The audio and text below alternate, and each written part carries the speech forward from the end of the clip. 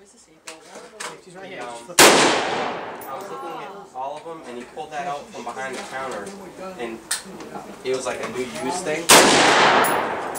See how you did it? So it was like 200 brand new. He wanted the scope. Oh, okay. I was talking to this old man, just kind of shooting the shit for like half an hour with him. Things. And I was looking to get the bush. This one has the, the Do you still have a bounding? why the crosshairs light up.